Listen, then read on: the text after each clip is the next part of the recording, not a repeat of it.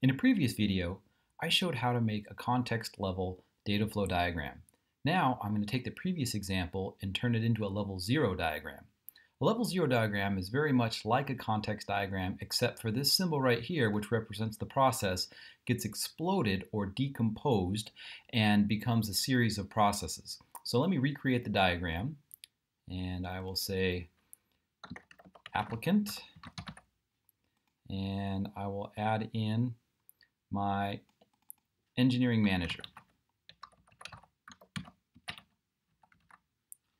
Now let's suppose that I know that there are three processes that are part of the hiring system. One of those processes is going to be creating the job opening. So I'm going to add a process here and I will label it 1.0 and I will call it create job opening. And just like the other one, I am going to add the data. The data flow is going to be, and I have to double click on there, job description. And when the engineering manager creates the job description, it actually gets put into a database. So I'm going to go over here to the data store symbol and add that to the diagram.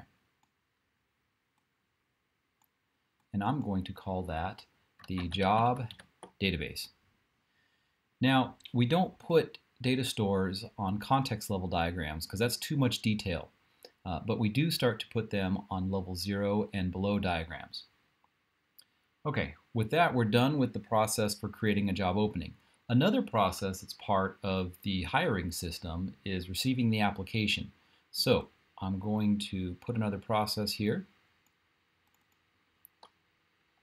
call it 2.0, and as before, I'll create a line that says application. It's looking a little scrunched, so let me uh, move things around a little bit.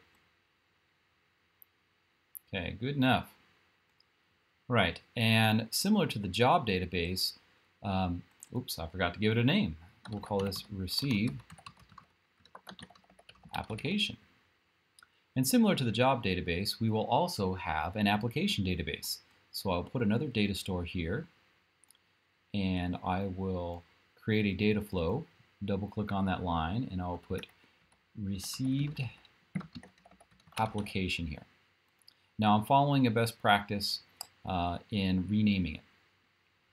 Because uh, usually we rename any data flow as it passes through some process which transforms it. And in fact, I need to put something here, but just to show that I can do it both ways, I can say job description or I could say formatted job description. Okay, so now my diagrams are correct for those two processes. There is one additional process that is part of this hiring system, and that is scheduling an interview. So I'm going to add that in here and call that process 3. And, and by the way, the reason why we call this a level 0 diagram, which can be a little bit confusing, is because there's a whole number followed by a 0. But that's not to be confused with the context diagram, which just has a 0 on there. So the level 0 diagram refers to the zero that's after the whole number. Okay, so back to scheduling an interview. So I schedule, oops,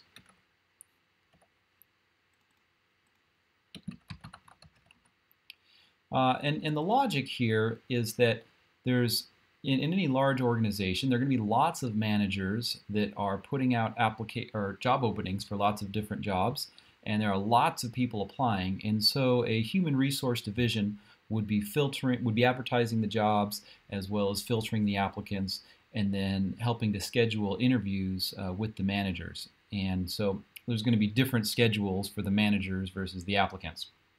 So uh, one thing that might happen is as part of the application, it might include the availability of the applicant. So I'll put received application here.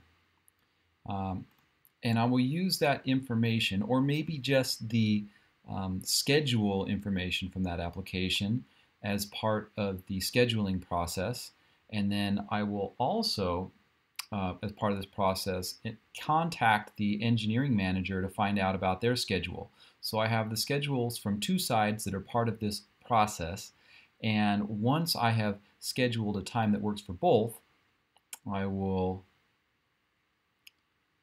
create a data flow back to the applicant, which is going to be the applicant interview schedule.